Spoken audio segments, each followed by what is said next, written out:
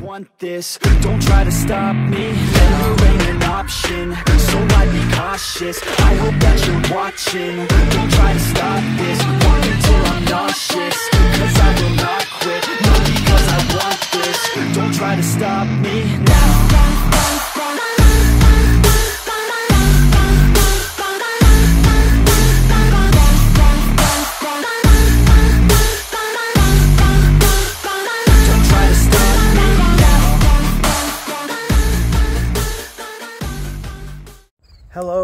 welcome to the Team Turner YouTube channel. I often get asked questions about how I keep old cars on the road, why all I drive is old cars, and how in the world am I able to make long distance trips on a regular basis in these old cars without really having any problems, without having too many breakdowns or, or issues or anything like that. Um, and in this video, I'm going to go over how to keep an old car on the road, high mileage car on the road, what to pack, what to bring, what to do when you're on a long road trip to make sure that you're safe, you're not stressed, and uh, and how I do it. The first thing to consider is what car are you going to take? For example, this red Saab in the garage. I love it. It's a fantastic car. I put a lot of work into it over the last couple of years, and it's been fine. But it has had a couple of issues. It's had a fuel pump go out, and it's had a couple other uh, little electrical gremlins that I'm just not comfortable taking it on a road trip. Um, you know, on the other hand, the Volvo V70R. This car's got getting close to 300,000 miles on it. I've been through it a few different times. I've gone through the maintenance. I know what quirks it has. I know what things have been fixed and what things still might need to be fixed. And I drive it all the time. I would trust it to drive on a long trip. I drive once a month, six and a half hours up into Canada to see my fiance. Um, I've driven several of these cars, and I've only ever had one breakdown. And of course, it was in the Land Cruiser, the LX470, and it was something really dumb. It was an ignition switch rod that broke, just an old part that got fatigued and left me stranded in a rest stop. Um, I'll get to how I handled that later, but for now, find a vehicle you trust. If you don't feel comfortable with your car, then don't drive it. Maybe have it take it to a mechanic, make sure that it's gone over and it's it's solid, or do it yourself if you're inclined. Um, in this trip, though, however, I'm getting ready to leave to go to Canada. Six hours, six and a half hours. This is the car I'm going to be taking. It's a 98 Volvo C70. It's been in the fleet for, I think, 12 or 13 years now, and it is a great car. It's also almost 25 years old. It has 180 some thousand miles, and I'm going to drive it with no problems at all because I am prepared for what's ahead of me.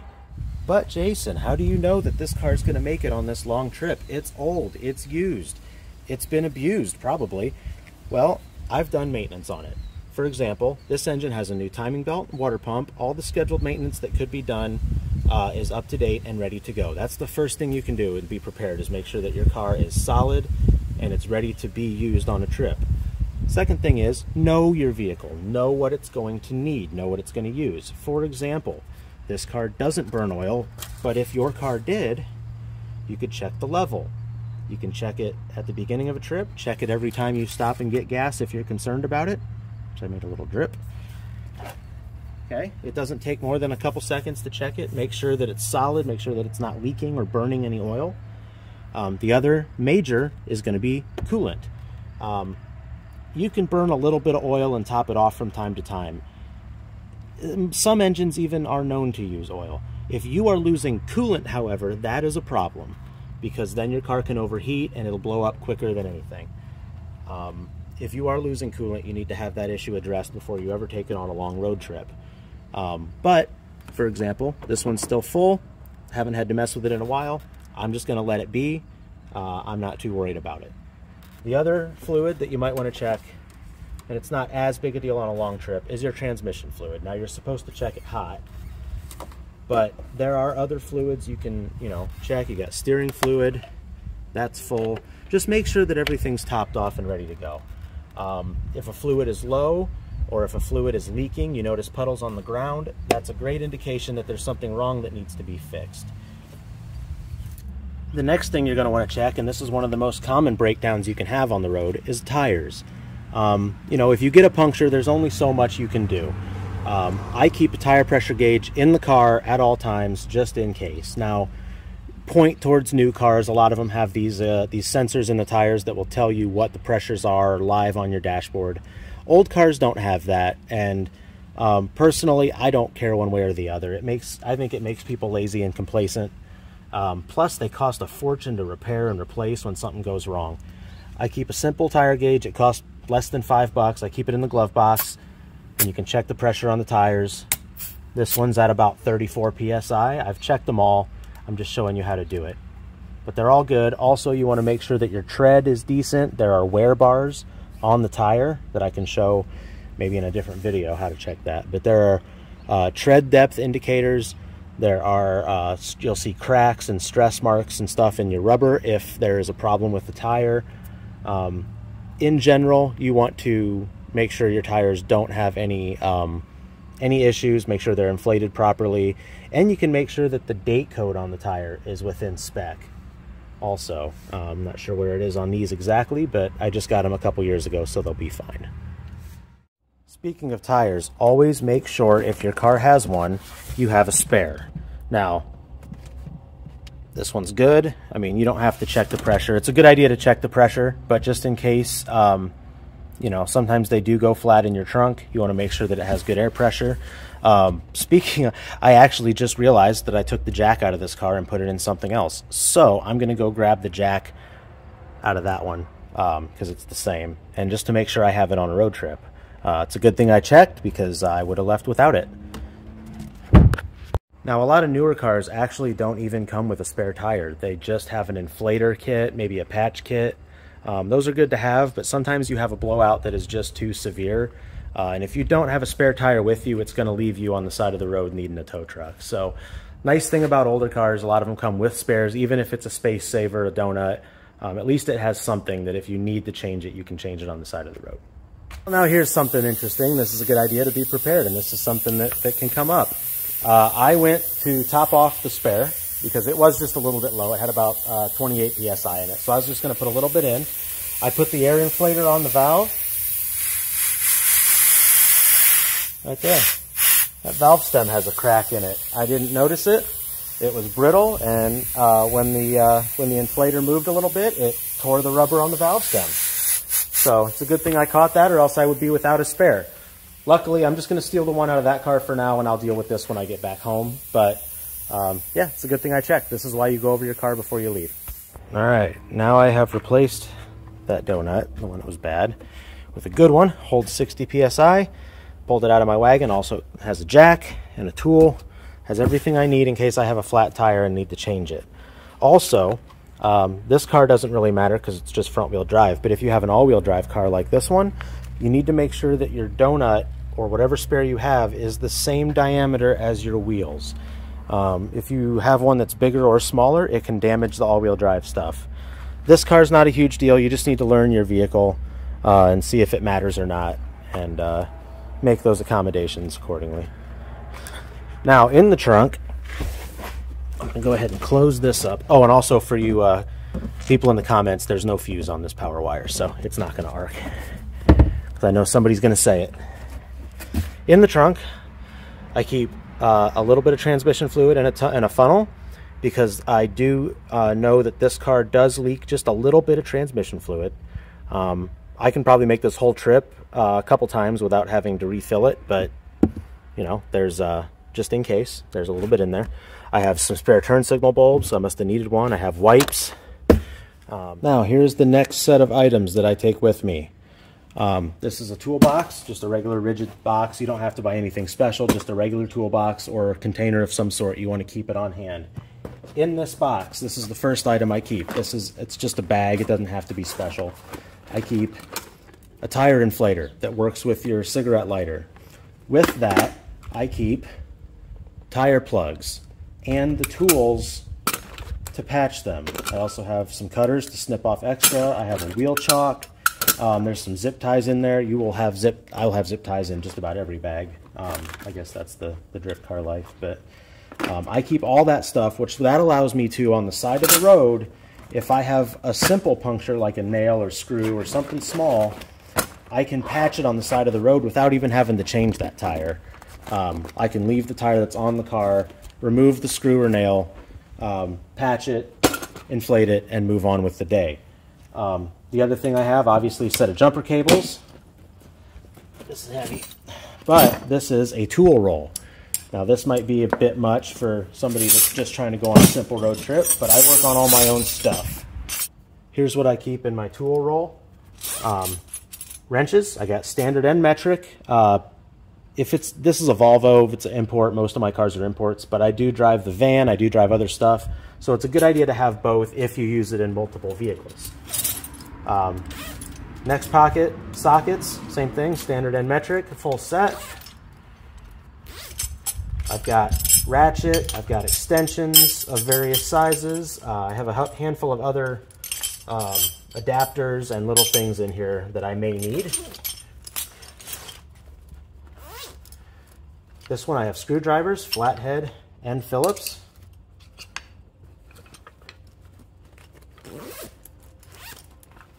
I got a set of Allen keys, Allen wrenches, and then this one I keep some gloves, some zip ties, a little flashlight. Um, you know, I have just a variety of things. And this isn't a rule of what needs to be here, what doesn't. This isn't, I'm not a professional. This is what I've put together. Um, it's worked for me several times. Plus, I, I grow this kit as I find something that I need, or if I ever have an issue and I don't have a tool, I'll buy it, I'll put it in a tool roll, and I'll have it for next time. Um, this is a Bucket Boss. Uh, I think I found it on Amazon a couple years ago and I really like them. They roll up nice. You can close them up. Once you get them rolled, snatch these down tight and you can throw it back in your toolbox. So now I've packed the toolbox and it's going to go in the trunk first. It's going to go all the way in the back. It's heavy. It's going to go all the way in the back. Shouldn't need it. There you go. All right, now here are some things I keep on the inside of the car to make this trip easier for me personally. Um, and part of keeping it low stress and, and you know, not being worried about uh, things on the trip is that you have everything you need also. Um, so for example, let's go through the glove box first. I've got some napkins. I have an OBD2 scanner. Now it doesn't have to be an expensive one. Um, make sure that your car actually uses this. Older ones, I think it's 95 or 96, may, you know, older may not use them. This is a 98. Um, being a turbo car, if you put cheap gas in it, sometimes it'll throw a check engine light. Um, or if you just get bad gas, it'll throw a check engine light. And it's nice to, even if there's not a major problem, at least be able to clear that light so it runs better, um, you know, once you get that, that rectified. Uh, the other thing I keep, I showed you earlier, tire pressure gauge keep your registration, your insurance, and I keep my manual for the car and manual for the radio, manual for anything that needs a manual stays in the glove box. That way, in case there's an issue with any item, I know how to fix it. Um, the other thing I have, this phone chart or phone holder. Uh, I'm real particular about a phone holder. I've had so many over the years, and the worst thing is when you're on the road, you're driving, and um, your phone falls out or you know won't stay in the holder or you can't get it back in the holder without using two hands. Um, this one I found on Amazon. It's just they're not that expensive. I think it's 10 or 15 bucks but you squeeze it, it stays in there's a little button on the back opens up. I found it's real nice. You can just set your phone in it. Um, and not have any issues with it falling out and be able to do it all with one hand really easily then the next thing I keep obviously phone charger whatever phone you have. Make sure it reaches to your holder. Um, if you're using a GPS or, or music or anything from your phone, you're going to want that. Uh, one trip without it, you'll never forget it again because you'll let your phone be dead. Um, okay, then here in the center, uh, for long trips, I keep my wallet in here. I don't like having it in my pocket, under my butt. Uh, it just makes, it kind of hurts your back. After a while, you'll notice that it's way more comfy without having that in your pocket. Um, because I'm going to Canada, passport, um, I keep a pair of earbuds. These are just some Bluetooth earbuds that I got uh, from Amazon. Doesn't have to be anything special, just uh, you want it to be able to be hands-free. If you have a phone call or something come in, you can throw those in your ears and um, it's a lot easier. Plus, a lot of places now where it's illegal to actually hold your phone to your ear. So if you have earbuds, that makes that not an issue. Um, keep some nasal spray. I have bad allergies, so Uh, you want to make sure you have that if you need it. Have it in the car. Uh, I've made the mistake a few times of putting it in my bag in the trunk and then you can't get to it when you need it. I like just keeping it on hand, ready to go. Um, and then obviously, pair of sunglasses, whatever you like, um, in case you end up driving into the sun. One last thing I forgot to mention, because this is going to be a teamwork between man and machine or driver and car, um, you want to make sure you're doing all right too. Keep your water with you. I have a couple extra in a cooler. Um, I always make sure there's at least one in a cup holder ready to go. That way you can stay uh, hydrated. You're not going to get thirsty. Um, helps you stay awake, you know. Just, uh, it's good to keep yourself uh, just as in shape as. All right, let's do a cold start.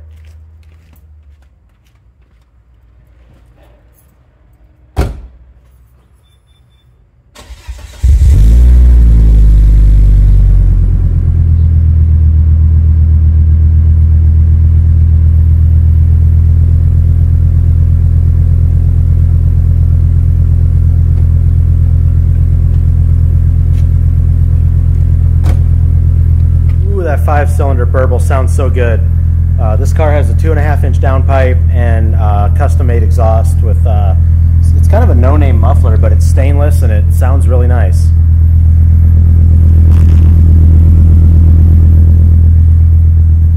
So another good thing to check when you're going on a road trip is your lights. Um, you want to make sure that everything works.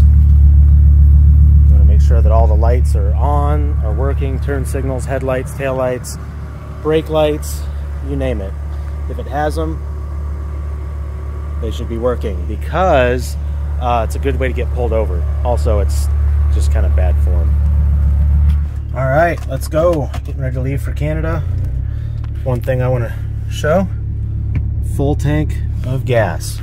That's another thing you want to do when you're driving on a long trip is uh, don't let your gas tank get too low. I know it's tempting to run it all the way down to nothing and um, you know, and then you, you end up getting more miles out of your tank or can drive a little longer. But um, it's really bad on your fuel pump to run it low like that. The fuel pumps will actually use the gas in the tank to help keep them cool. And if you run them low, they can get uh, hot and overheated. And um, it's not good on a new car, but especially on a car if you're driving something a little older, that fuel pump's been in there a while. And, uh, you know, you let it overheat a few times and that could be the end of it. So uh, yeah, avoid fuel pump uh, failures. I would say keep it above a quarter tank at the bare minimum, and it's always safer uh, to keep it over half a tank. Uh, in general, I've had an issue. Actually, I wasn't sure I was going to make it home. Uh, one one time, I ended up coming back from Canada, but it was super late at night. Um, it was probably three in the morning or something, and uh, I was getting low on gas, and a lot of the gas stations were closed, uh, and that was my own stupid fault for not having the tank full enough. Um, I should have topped off back when stuff was open, and I didn't think about it. So, just a good idea to keep an eye on your gas tank and uh, make sure that everything is, uh, yeah, everything's good to go. Less stress that way.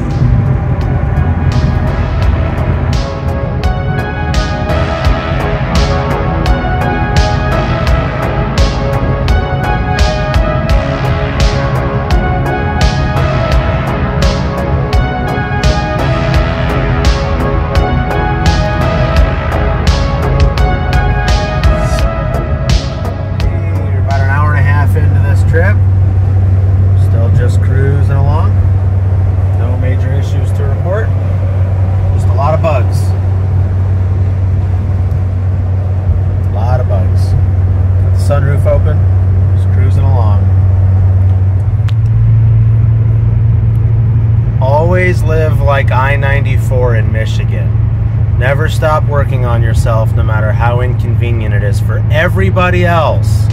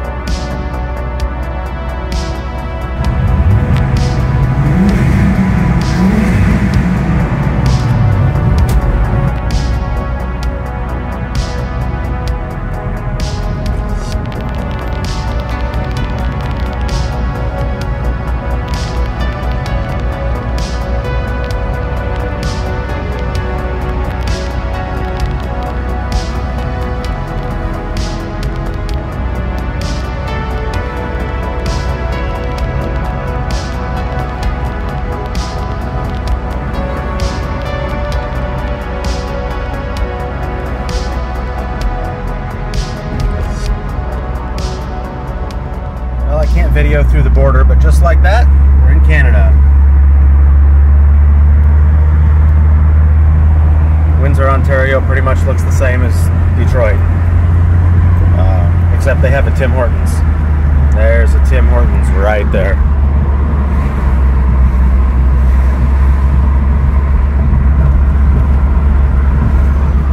I do love my Tim Hortons. I'm going to get one later, a little farther down the road. This is the 401 in Canada. Runs from Windsor, I think, all the way out to Ottawa. Toronto. This is the coolest highway. I don't know. We we don't have stuff like this in Indiana. It's wide, it's flat. You know, even at rush hour, it's not as busy as a lot of our highways in the states. It's just set the cruise and drive for three hours. Uh, it's fantastic.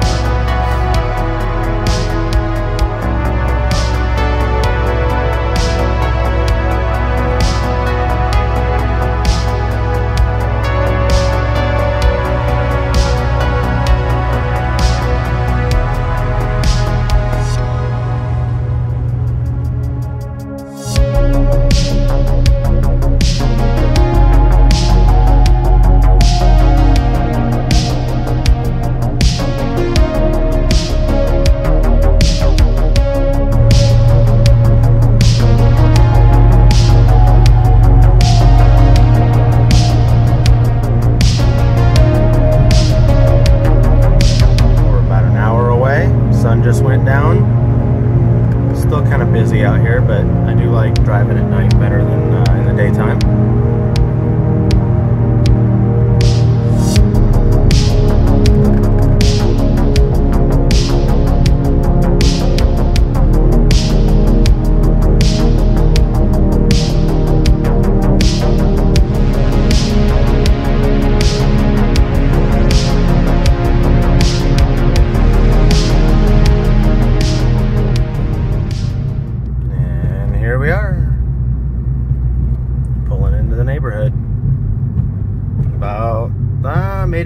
Six hours and 10 minutes this time. Not my record, but not too bad. Car made it just fine. No issues at all. Good morning. It is the next day. Uh, car made it just fine. Didn't have any problems at all. Uh, I went over, I'm going over to Tim Hortons right now to get a coffee. So I'm not quite all there yet. It's still too early. Um, I did a quick once over on the car once I got here, and uh, the fluids are fine, tire pressures are fine. Those are the main things that I check.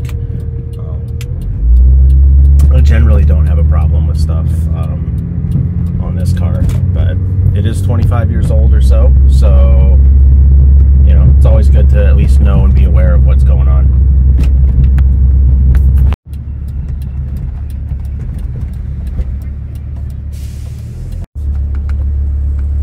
Welcome to Bottom. How may I help you? Uh, hi, just a small double double, please. Yeah. That's it. Would you like to try our orange sprinkle donut today? Uh, no, that's okay. No problem. Your total comes to 157. Thank you. You can drive off. Thank you.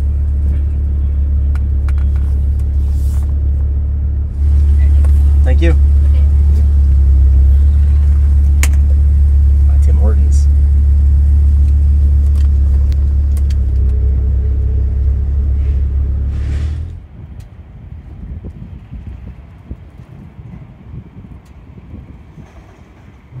All right, headed back to Indiana. Uh, had a really nice vacation with my fiance for a few days. just uh, back on the 401, cruising along.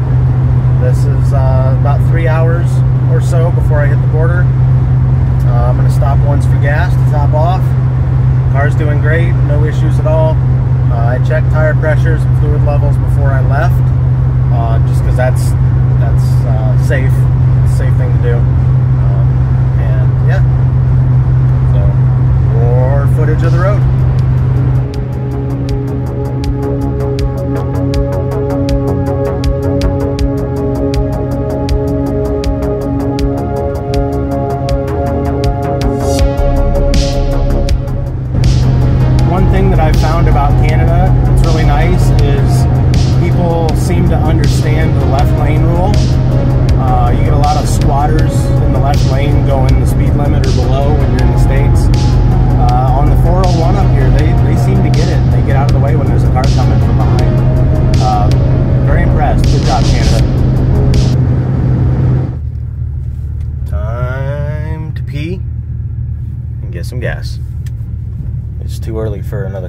Just had breakfast.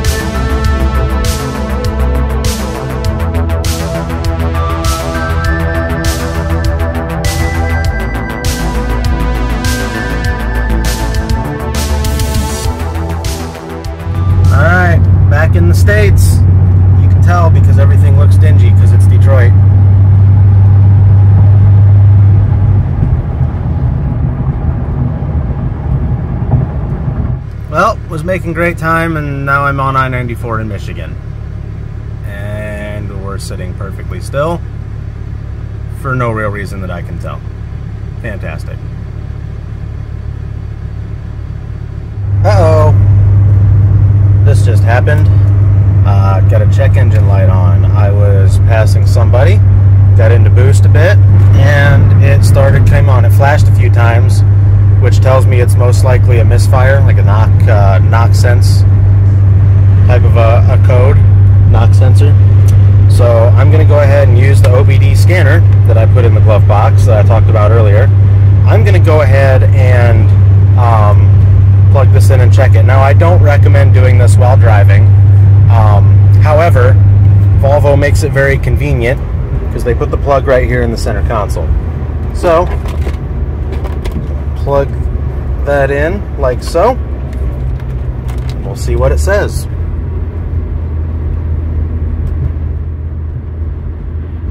Welcome to Indiana.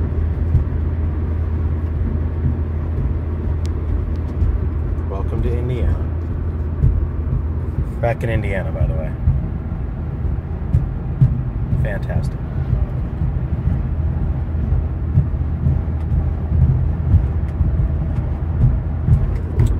All right, six codes. It threw a hissy fit. All right. 04, 305, 300, and then pending codes for those. So those are all misfire codes.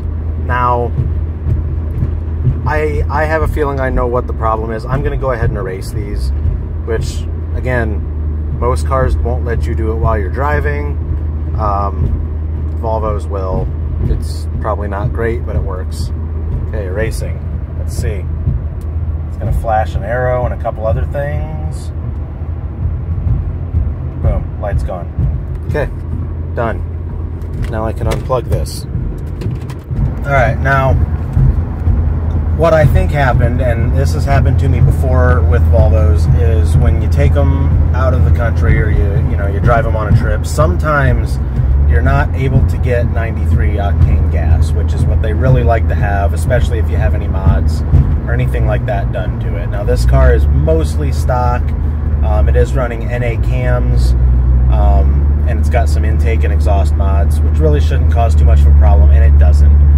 Um, but I think the intake cams, or the uh, I'm sorry, the NA cams from a non-turbo car, they have a more lift and duration, and it changes the way the engine runs. It sucks more air in. Put them in a turbo car, that ends up creating um, you know multiple situations that the engine can get more air than the stock computer really expects it to. So what happened was I passed somebody, I got into boost kind of hard, and I had recently filled up with gas in Canada because that's where I was at, and I they only had 91 octane. Um, I got into boost. The knock sensor sensed that I was getting some spark knock, which will happen if your fuel is not, um, you know, high enough grade, and it popped the check engine light on. Um, all the codes were for cylinder misfires or multiple misfires, so I'm not worried about it too much. Like I said, it's done this before, and it doesn't really concern me because I think that we're just a little outside of what the stock computer knows how to handle for um, having a lesser potent fuel with, um, you know, some of the light mods that are done on the car. Um, on a stock vehicle, it should take care of it. The computer will just pull timing and figure itself out. Um, both both of my cars do this. Both Volvos, the the C70 and the V70R, will do this if I put some uh, less than 93 octane gas. If I just put along all day, it's probably fine. But if I get into boost pretty hard, um, you know, then I may end up with uh, with the check engine light. That's why I brought the scanner. It's good to be prepared. You know, I checked it anyway, even though I had a pretty good idea what it was, in case it was something more serious that I could look into it further. So I cleared the light, and um, you know, as long as it stays off and doesn't uh, doesn't come back on on the trip home the rest of the way, then we're good to go. Just wanted to keep everybody updated. It's not all uh, rainbows and unicorns. Sometimes you end up with little problems and hiccups, and knowing how to handle them really is uh, the best way to be prepared. All right, we're back home a couple days later. Look at all the bugs. Oh my god. so yeah, hit a hit quite a few bugs on the way. Well, I'm gonna do uh, what I like to call a reset. Once I get back home from a long trip, um, I'm gonna take the car out. I'm gonna wash it real well. Uh, I'm gonna go through, check all the fluids again, check all the tires again, um, refill any supplies that I had to use if there was like first aid kit or fluids or uh, napkins in the glove box, even just anything that I could need that I might have used on the trip. Go ahead and top that stuff back off. Make sure everything's good to go. Um, just make sure it's ready to go again for next time. If you de- if you stay on top of it uh, every trip, or or if you don't go out of town very often, every couple of weeks even, just stay on top of the things with the car. Uh, it's going to pay off in the long run, be a lot more reliable, a lot less stressful.